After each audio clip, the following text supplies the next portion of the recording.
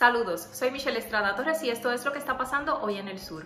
El secretario de Salud, Lorenzo González, anunció hoy que dio positivo a coronavirus luego de haber estado de viaje. Esto provocó que la gobernadora Wanda Vázquez iniciara cuarentena debido a que ayer estuvieron reunidos. Ambos trabajarán de manera remota. En un tema relacionado, un hombre de 76 años de la región de Ponce murió de coronavirus. A nivel isla suman 742 los fallecimientos por esta causa. Por otra parte, Puerto Rico estará bajo vigilancia de inundaciones desde mañana por la tarde hasta la noche del viernes, debido al paso cercano de una onda tropical. Entre tanto, los sectores Sierra Baja, Pimientos, Jaguapasto, Quebradas y Hacienda Matei en Guayanilla se quedarán sin agua el sábado por trabajos de la AAA.